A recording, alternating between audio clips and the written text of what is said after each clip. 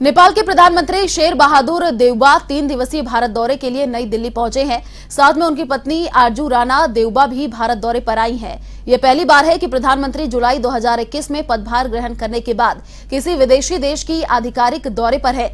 नेपाल के प्रधानमंत्री शनिवार को नई दिल्ली के हैदराबाद हाउस से प्रधानमंत्री नरेंद्र मोदी से भी मुलाकात करेंगे।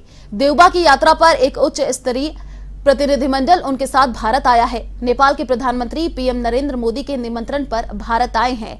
देबा उत्तर प्रदेश के पवित्र शहर वाराणसी और पीएम मोदी के लोकसभा क्षेत्र का भी दौरा करेंगे। भारत और नेपाल राजनीतिक और सांस्कृतिक रूप से एक मज़बूत संबंध साझा करते हैं।